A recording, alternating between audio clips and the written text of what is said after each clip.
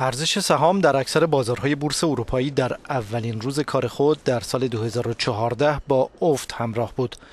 کارشناسان افت ارزش سهام در آغاز کار بازار بورس وال استریت را یکی از عوامل افت ارزش سهام در اروپا می‌دانند. بدین ترتیب شاخص سهام در بازار بورس لندن با رکود 46 درصدی مواجه بود. این افت در بازار بورس فرانکفورت 1.49 درصد گزارش شده است. در بازارهای مالی هر یورو یک دلار و 36 سنت معامله شد و هر اونس طلا نیز 1224 دلار به فروش رفت. در بازار فروش نفت قیمت نفت برنت دریای شمال با افت 1.92 درصدی مواجه بود و هر بشکه آن 108 دلار و 66 سنت داد و ستد شد.